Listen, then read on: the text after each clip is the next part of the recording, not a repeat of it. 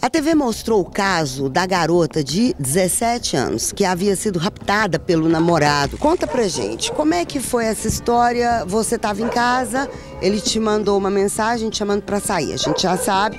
Daqui vocês viajaram e você foi parar em Penedo, lá em Alagoas? Sim, aconteceu que na segunda-feira, no dia 5, ele me liga, vamos sair.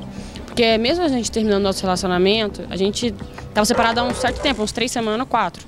Ele me, eu falei, Diego, eu não quero terminar minha amizade com você, entendeu? Quero ser sua amiga. Aí ele me liga falando que a irmã dele estava me esperando com uma colega minha no Camaro. Só que eu não, não, tinha, não sabia das escalas dos shows. Eu não sabia que não tinha show na, na, na segunda-feira. Chegando no Camaro, cadê? Cadê show? Cadê irmã? Cadê amiga? Não tinha ninguém. De lá eu entro no carro, peço o Diego, me leva embora. Ele me levou para Morada Nova, uma quebrada, no escuro, só terra e mato.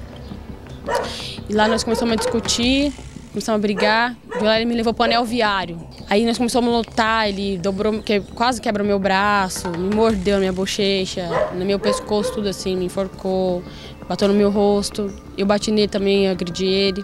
Mas ele é bem mais forte que eu, não tive nem reação direito. Aí de lá ele me levou para o motel, a gente brigou mais ainda lá. Eu tentei chamar as pessoas lá, tentei pegar o telefone, mas ele arrancou o fio do telefone, entendeu? Aí eu tive que ceder a todas as vontades dele, né? Aí vocês mantiveram relação sexual, é. mas você não queria? Não, mantive relação sexual com ele na segunda-feira, mas a força, né?